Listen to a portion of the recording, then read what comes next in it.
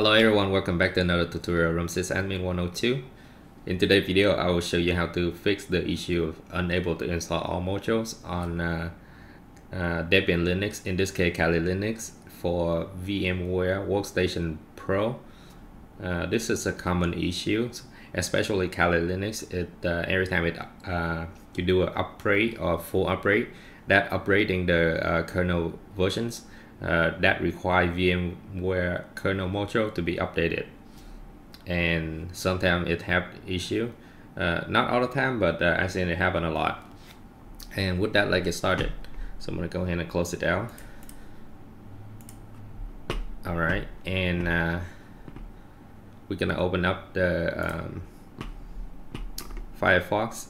By the way, I'll be including this link uh, to the GitHub uh, in the descriptions First up, uh, special thank to uh, whoever made this script uh, under the username mkubecek. Sorry, I can't I can't pronounce this. Um,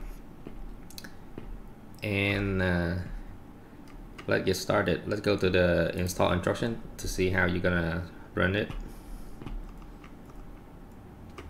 Alright, so first thing obviously we have to download it to our computer. Alright, we're gonna copy the uh, git command and we're gonna open up terminal. I'm gonna change this to my uh, download folder first and then we run it. And that should copy the file to out. Yep, the, there you go, the folders. So we're gonna do the cd command to change the directory to that uh, folder. Okay. All right, and next we have to do the git checkout command. But in order to do that, we need to know what version we have. So to find out a version, it's easy. You can just do um, VMware dash installers dash L, and that would give you the version. So we're on the version 17.042. All right, so now we can run that command git dash 17. 0.2 all right so that switches to the renew uh, workstation 17.0.2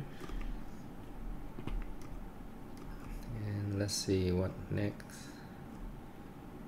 Okay so next we're gonna run the sudo make and sudo makes install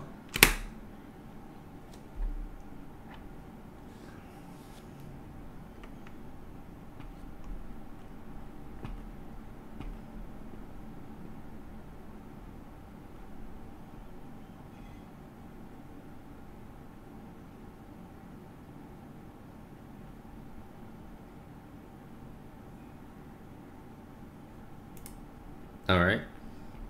And lastly if you have any uh, VM that currently installed with the last uh, you know uh, before you upgrade your kernel or you're doing an upgrade and full upgrade for your uh, Linux system uh, the make install is only release the existing module file but it does not release the module in the running kernel. If they already loaded uh, so meaning that we have to reload the the the kernel that um, you know it currently uh, running.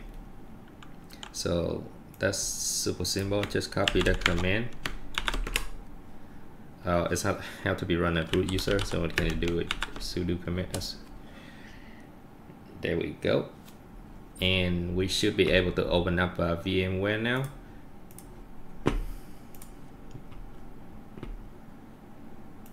Okay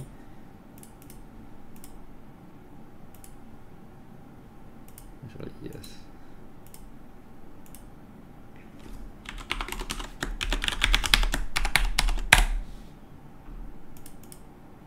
Uh,